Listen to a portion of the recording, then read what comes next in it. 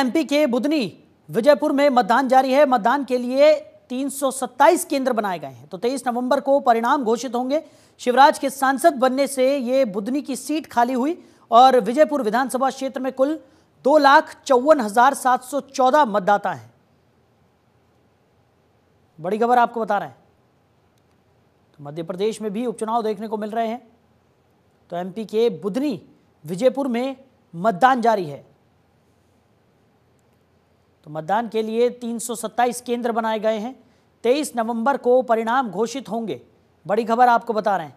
तो खबर पर ज़्यादा जानकारी के साथ हमारे सहयोगी गौरव शर्मा हमारे साथ जुड़ गए। गौरव एमपी के बुधनी विजयपुर में मतदान की जो प्रक्रिया है वो लगातार जारी है। किस तरीके से ये प्रक्रिया आगे बढ़ रही है? क्या कुछ तैयारियाँ की गई है? क्या जानकारी आपके पास?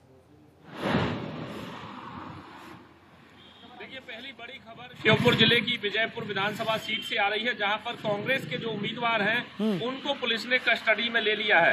पुलिस का ये तर्क है कि शांतिपूर्वक मतदान हो इसलिए जो है कांग्रेस प्रत्याशी को कस्टडी में लिया है। कांग्रेस पार्टी का ये आरोप है प्रत्याशी जो है उनकी पत्नी ने भी आरोप लगाया है कि पुलिस जबरन उनको घर से उठाकर ले गई तीन चार गाड़ियाँ आई थी और उन्हें हिरासत में ले लिया। लेकिन पुलिस कर्मियों का ये तर्क है, जब थाना प्रभारी से बातचीत की गई कि पूर्वक मतदान हो सके और जहाँ जहाँ भी प्रत्याशी जाना चाहते हैं, वहाँ पुलिसकर्मी खुद अपनी गाड़ी से उनको लेकर जाएँगे मतदान केंद्रों पर। दूसरी बड़ी बात यह है कि बुधनी और विजयपुर दोनों ही सीटों पर जो उपचुनाव हो रहा है, उसमें जो है अभी पूर्व मुख्यमंत्री शिवराज सिंह चौहान ने ज़्यादा से ज़्यादा वोट डालने की अपील की है मतदाताओं से।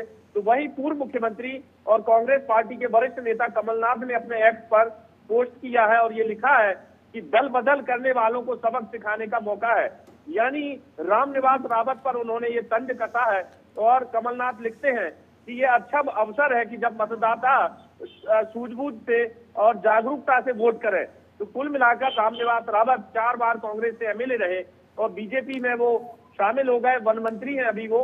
और बीजेपी ने उन्हें प्रत्याशी बनाया है। तो निश्चित तौर पर कहीं ना कहीं कांग्रेस पार्टी को ये तीस है अंदर से कि रामनिवास रावत जैसे वरिष्ठ नेता ने कांग्रेस का हाथ छोड़कर बीजेपी का दामन थाम लिया। और शिवराज सिंह चौहान ने बुधनी सीट छोड़ी है केंद्रीय कृषि मंत्री है वो। आ, तो आ, उन्होंने भी बुधनी की जनता से अपील की है।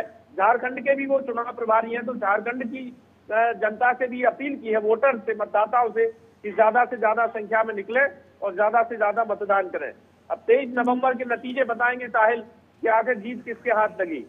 बिल्कुल, गौरव, तेईस नवंबर को ये साफ़ हो जाएगा कि किसका साथ जनता ने यहाँ पर दिया है और किसको बाहर का रास्ता यहाँ पर जनता ने दिखा दिया है। लेकिन मतदान की प्रक्रिया की बात करें तो 327 केंद्र यहाँ पर बनाए गए हैं, तमाम तैयारियाँ कर ली गई हैं।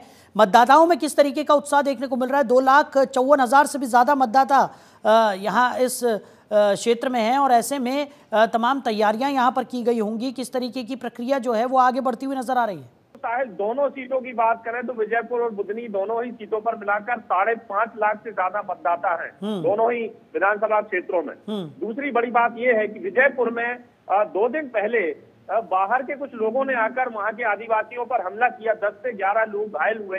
हम्म। जिसमें जो है सियासत भी हुई। पुलिस कर्मियों ने कुछ लोगों को अरेस्ट भी किया है। हमलावर जो बाकी भाग गए एक हमलावर को जो है पुलिस ने अरेस्ट किया है। तो सुरक्षा के लिहाज से विजयपुर जाना अति संवेदनशील दिखाई दे रहा है और वहाँ पर 2000 से ज़्यादा पुलिसकर्मी तैनात किए गए हैं। बुधनी में अभी सुबह से शांतिपूर्वक मतदान चल रहा है, लेकिन कांग्रेस और बीजेपी दोनों ही राजनीतिक दलों ने अपने अपने पार्टी के मुख्यालयों में जो है मॉनिटरिंग रूम बना रखे हैं और वहाँ से वरिष्ठ नेता बैठकर मॉनिटरिंग कर रहे हैं कि मतदान कैसा चल रहा है, कहीं कोई गड़बड़ी की शिकायत आती है तो वो सीधे यहाँ कंट्रोल रूम में संपर्क कर सकते हैं, साहिल।